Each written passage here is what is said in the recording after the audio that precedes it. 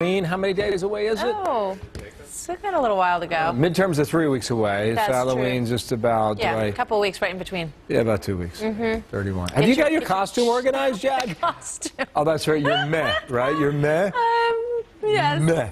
Bye. We'll talk about it later. Ciao. Bye bye. Ebola death toll rises to nearly 4,500 as we watch Americans fight for their lives and hear a frightening new warning from the World Health Organization about the scope of that deadly disease. Welcome to this Tuesday edition of Happening Now. Us in the Big Mac. Maybe you don't want to know what's in that McRib. Maybe not.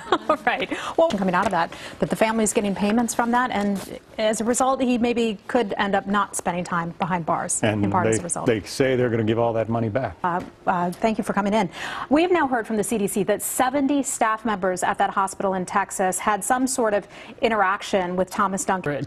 they were trying to follow the protocol, but yet. The CDC is uh, doing of informing hospitals of exactly what they need to be doing to be on the lookout for this. So this- we like to set up one hospital in each state throughout the United States to be able to deal with Ebola. So how concerned are you that they're concerned that we could see a much wider outbreak? the face of Ebola outbreaks in the future. And if it and if it works, they say it could potentially be ready to go within a couple of months. We should also mention that it's being tested on volunteers, as we understand it, and apparently not military members. But we're working to get uh, further confirmation from the Pentagon on that. The banks today they are weighing in on cybersecurity, so many of them have been hit. certainly, certainly to actually be more of a partner with the banks so that the private sector and the government can work together. While the other banks are focused on trading and, and raising capital and IPOs, well, this is the 17th day we've had a 100 point swing. You've got Ebola, uh, you've got Yeah. ISIS. Tough to watch a lot of these Right. days. Today, not that day, luckily. and so interconnected between the government and the private sector these days. Well, as you know, John has been away for a, a couple weeks. He's back from Kilimanjaro. Yeah. Have a good time? Uh, it was. They said it would be the challenge of a lifetime. And you hiked up? And it was. Made it all the way to the top of Kilimanjaro. Story, A young nurse in Texas speaks out about her personal battle against Ebola.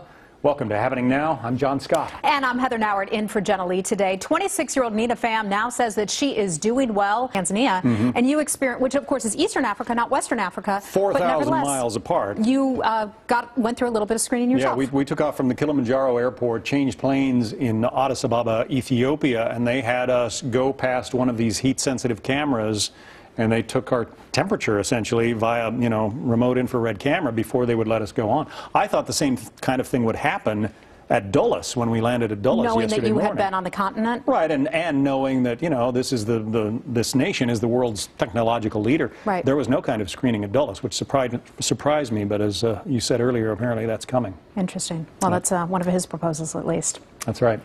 The CDC, in the meantime,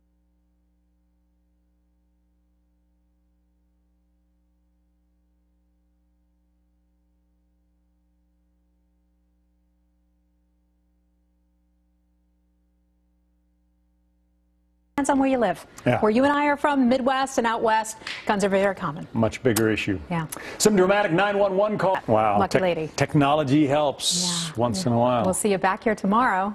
Thanks for joining us. The real story with Gretchen Carlson starts now.